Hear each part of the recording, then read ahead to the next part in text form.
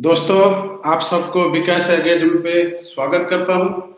आज हम लोग जो गवर्नर जनरल सीरीज़ का जो नेक्स्ट पार्ट है, उसके बारे में डिस्कशन करेंगे।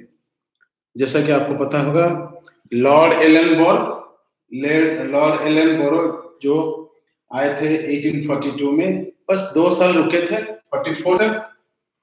इनके टाइम पे क्या क्या चीज़ हुआ ज़्यादा कुछ नहीं हुआ है, फिर भी क्वेश्चन आ सकता है तो आपको याद रखना होगा।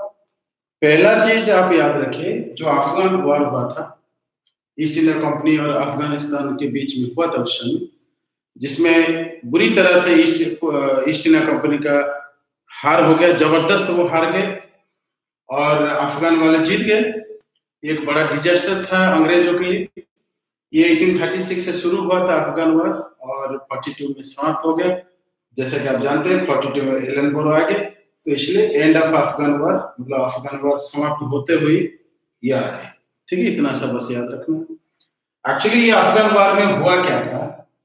ईस्ट इंडिया कंपनी चाहता था, जो अफगान है ना अफगान एम्पायर उसको एक बफर स्टेट बना दिया जाए रशिया और ब्रिटिश एम्पायर के बीच बफर स्टेट बड़ा स्टेट बना लेकिन हो नहीं पाया, किस्मत अच्छा नहीं था ईस्ट इंडिया कंपनी वाले हार गए। तो चलिए ये बात हो गया। अभी दूसरा चीज़ डिस्कशन करेंगे। एलन के टाइम पे क्या हुआ? स्लेवरी जो होता है ना, वो खत्म हो गया।